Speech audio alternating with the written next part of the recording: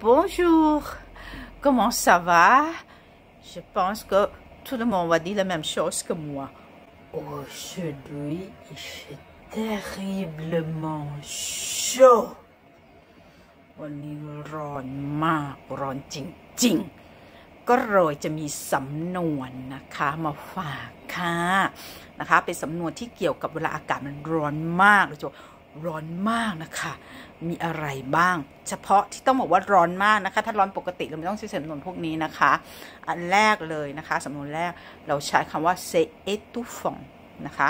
c'est étouffant ก็จะมีความหมายว่าร้อนมาก ร้อนจนแบบว่าหายใจแทบไม่ออกต้องกะอากาศเย็นต้องกะร้อนจริงๆหายใจไม่ไหวแล้วอะไรอย่างเงี้ยนะคะ เราจะใช้คำว่า c'est étouffant นะคะ c'est étouffant เมื่อไหร่ที่เรารู้สึกอยากต้องการอากาศเย็นๆนะเพราะมันร้อนมากเนี่ย เราจะใช้สำนวนนี้ได้เลยว่า c'est étouffant นะคะ ต่อมาก็คือ ça cogne นะซึ่งมันจะแวบ cogne จริงๆคำว่า cogne เนี่ยแวบตัวเนี้ยมันจะมีความหมายว่าเวลาคนที่ซุ่มซ่ามแล้วเดินไปชนนู่นชนนี่ชนนั่นเขาเรียกเป็น cogne นะคะเอาตัวไปชนประมาณนี้แต่พอบอกว่า ça cogne ก็จะมีความหมายว่าเหมือนกับแสงพระอาทิตย์ได้มาชนตัวเราแล้วมันก็เลยร้อนมากนะคะเราใช้คำว่า ça คน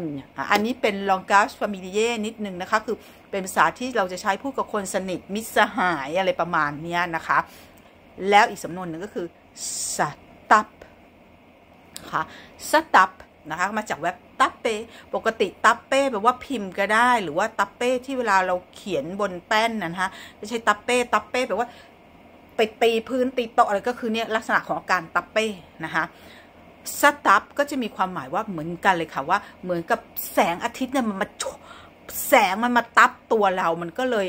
ร้อนมากนะ โดยที่ไม่ผ่านอะไรเลยนะ ความร้อนแสงอาทิตย์ที่มันมาโดนตัวเราเนี่ย เราก็จะใช้คำว่าสตับได้นะ ดังนั้นคือสก้น